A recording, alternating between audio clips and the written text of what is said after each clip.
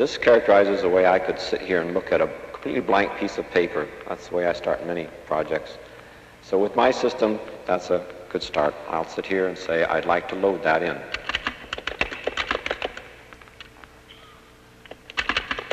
So I'm putting in an entity called a statement, and that's full of other entities called words. And if I make some mistakes, I can back up a little bit. So I have a, a statement with some entities words, and I can do some operations on these.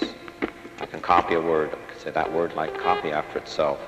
In fact, that pair of words I'd like to copy after itself, and I can just do this a few times and get a bit of uh, material there. And there are other entities like text.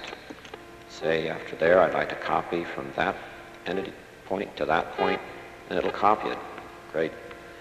Let's make more statements. I'll say copy that statement, and lo and behold, I have another one. Copy that one, another one.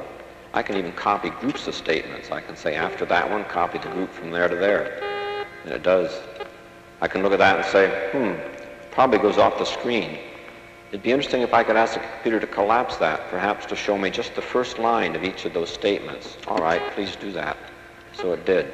This is one aspect of what we'll use over and over again through this presentation, what we call view control, where no matter where in a file we're looking, we can ask it to use any one of a large number of parameters for constructing a view at that point in the file that best suits our need at the time. This one wants us to give an overview of the thing. Let me go to a file that I prepared just after my wife called me and said, on the way home, would you do a little shopping for me? So as soon as she said that, I uh, got my system organized.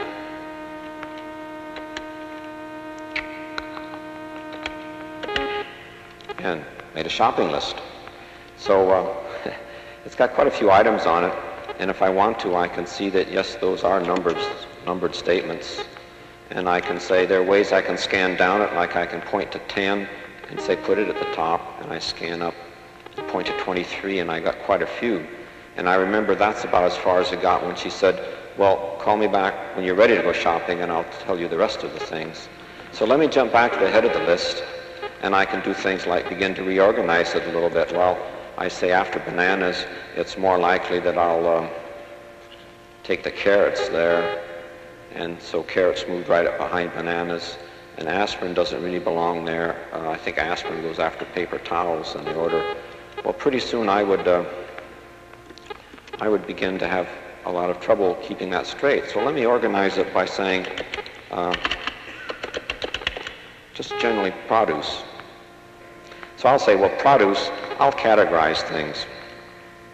Let me uh, look at it that way, and I'll say, let me move a statement for produce carrots, and I'd like to subcategorizing it.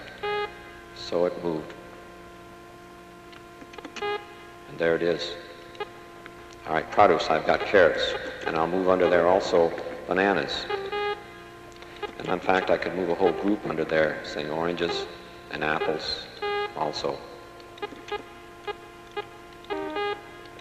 So I can begin categorizing things like that, and if I looked at the numbers now, I'd find that these, these items fit under there as a subset, and I realize I can categorize quite extensively. I could introduce a new thing under there that was uh, something I just invented, a skinless banana, but I have to go there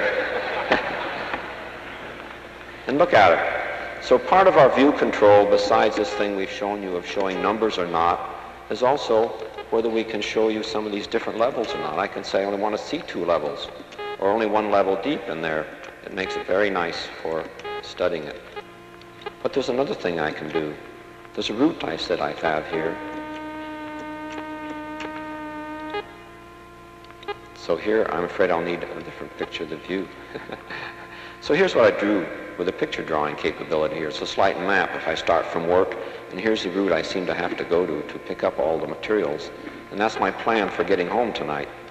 But if I want to, I can say, the library, what am I supposed to pick up there? I can just point to that, and oh, I see, overdue books and all. Well, there was a statement there with that name on it. Go back. What if I, what am I supposed to pick up at the drugstore? Hmm, I see, very interesting. All right.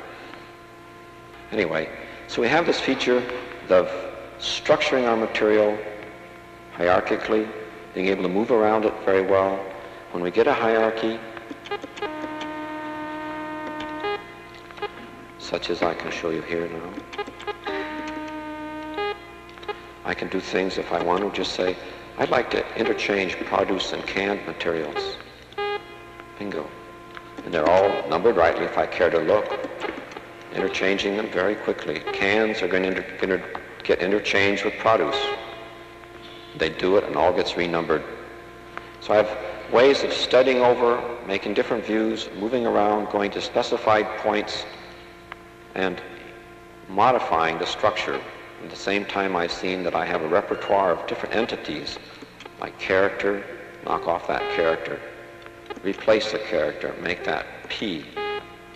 So I have entities of all sorts that I can say I want to do operations on, and this basic structure that I can move over and study and get about very quickly. So that is the essence now.